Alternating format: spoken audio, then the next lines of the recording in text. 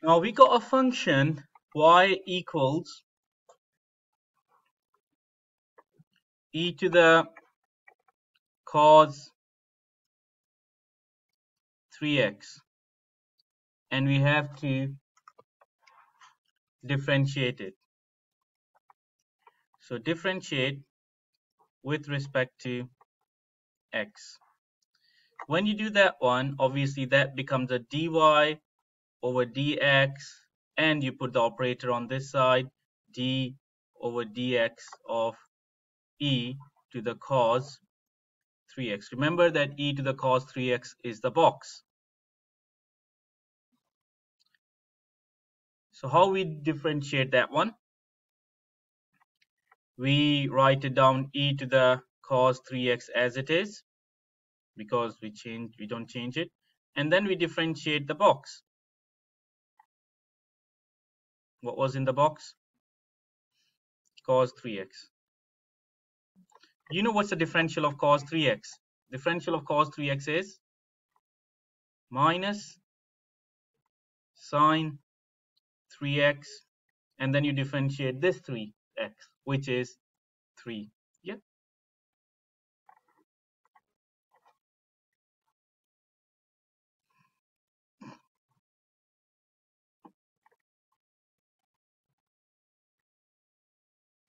obviously that's not the right way to write it down so what we're going to do is we will just write it down neatly. This red one I'm just bringing it at front. Minus 3 sine 3x that's an x dot dot mean multiplication. That will be your answer. We use the quotient rule to differentiate this one. So the top one is always a u the bottom one is always a v. Then you differentiate the u.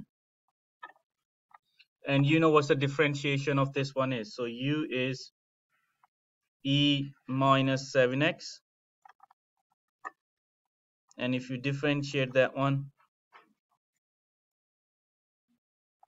you know it's going to be e to the power minus 7x and then differentiation of this box is just minus 7 when you differentiate the v?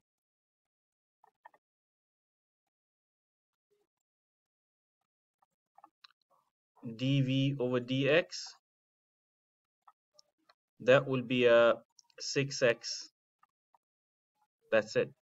Then you use a formula for the quotient rule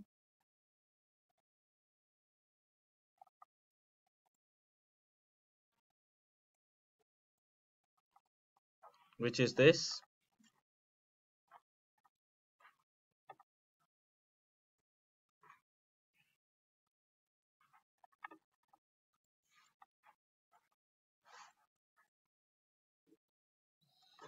and then find the simplify and find the answer. Yep. Okay.